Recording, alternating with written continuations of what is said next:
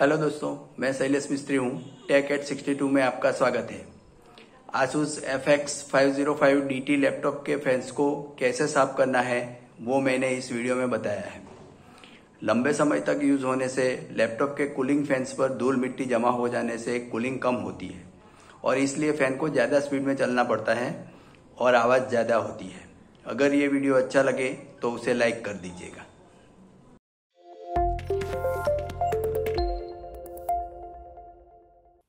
ये आसूस का F X five zero five D T laptop है। ये लैपटॉप ग्राफिक डिज़ाइन के लिए यूज़ होता है, इसलिए कूलिंग फैंस ज़्यादा चलते हैं। हीट के हिसाब से फ़ैन की स्पीड अपने आप बढ़ती और घटती है। थोड़े दिनों से इसके फैंस ज़्यादा आवाज़ कर रहे थे तो खोल के देखते हैं। इसके लिए ये एक, दो, तीन, चार, पाँच, छ, सात, आठ, नौ, दस और ग्यारह स्क्रू खोलने हैं।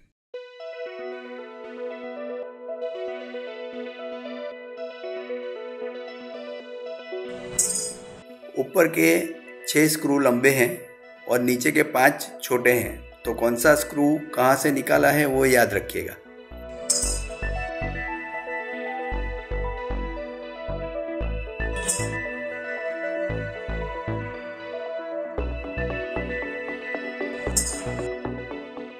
अब पीछे का कवर खोलने के लिए ऐसा एक अनयूज प्लास्टिक कार्ड या ऐसी कोई प्लास्टिक की चीज़ लेके ग्रू में डाल के धीरे से ढक्कन को अलग कर लीजिए।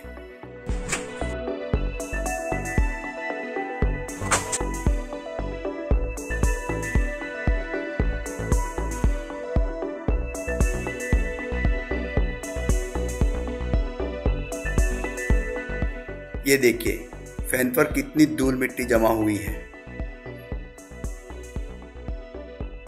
दूसरे पेन पर थोड़ी कम है।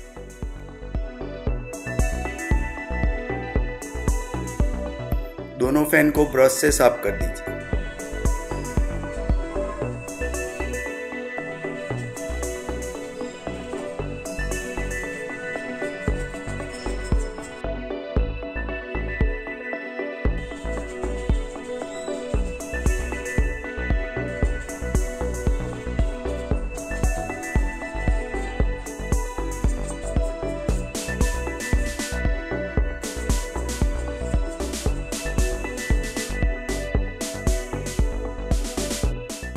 देखिए, दोनों फ़ैन एकदम साफ़ हो गए हैं।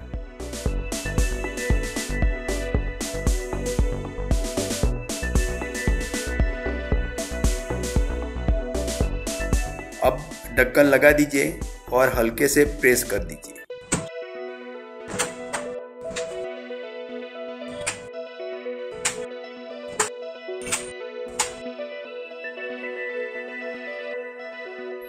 ऊपर की तरफ़ छह लंबे स्क्रूज लगाने हैं और नीचे पाँच छोटे।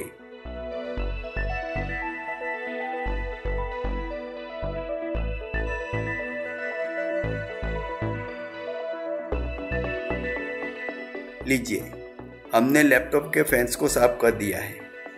अब ये आवाज़ नहीं करेंगे।